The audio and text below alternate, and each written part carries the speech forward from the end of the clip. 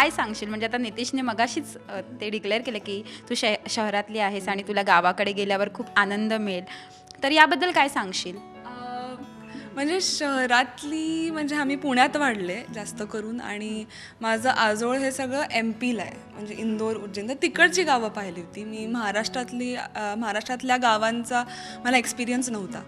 पण सोयरीक आम्ही शूट करायला जेव्हा अकलूजला गेलो तिथून पुढे आमचं लोकेशन एका गावात होतं.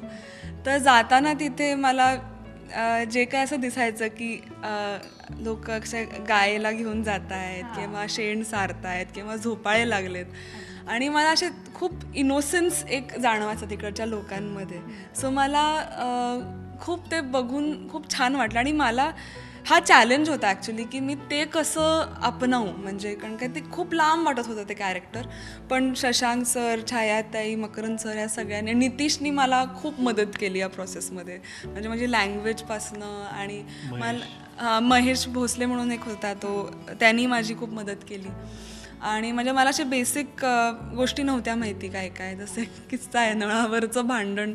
आम्ही इम्प्रोवाईज करत होतो वर्कशॉपमध्ये तर मला कळलं नाही की नळावरचं नळावरनं का भांडायचं आहे पण? म्हणजे मला असं वाटलं की भांडण म्हणजे कोणीतरी चालू केलं असेल नळ आणि ते बंद करण्यासाठी भांडण.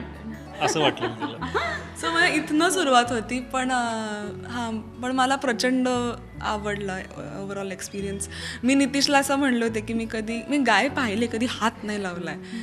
तर मला असं वाटलं त्याला काय झालं? आमचं असं काहीतरी बोलणं त्याला असं एक दिवस आम्ही शूटवर जात होतो. आम्हाला थोडासा वेळ होता बहुतेक. नितीशने गाडी थांबवली. मी म्हणलं काय? तुला हात लावायचा होता ना? मग मी उतरून मी असं गाईला हात लावला. तर ते तो ते तिची फिलिंग होती माझ्याकरता. तिच्या डोळ्यातून पाणी आलं होतं त्यावेळी. हे सगळे अनुभव तिच्यासाठी नवीनच होते. संसार बहिणाबाईंची जात्यावरची ओवी म्हणजे?